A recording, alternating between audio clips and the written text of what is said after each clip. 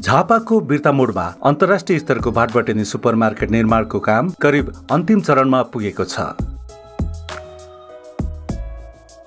आगामी असोज चार गतेबाट सञ्चालनमा आउने छब्बिसौँ शाखा बिर्तामोड भाटबटेनी सुपरमार्केट बिर्तामोड मुक्तिचोकदेखि करिब एक किलोमिटर पश्चिममा रहेको पाँच तारे होटल द किङ्सबेरी सँगै रहेको छ। काठमाडौँ र इटहरी जस्तै सुविधा उपलब्ध हुने बिर्तामोड भाटबटेनीको लगानी दुई अर्ब रहने बताइएको छ। हजारौं उपभोग्य वस्तु उपलब्ध हुने भाटबटेनीमा दुईवटा सिनेमा हल र फुड कोर्ट पनि रहनेछ।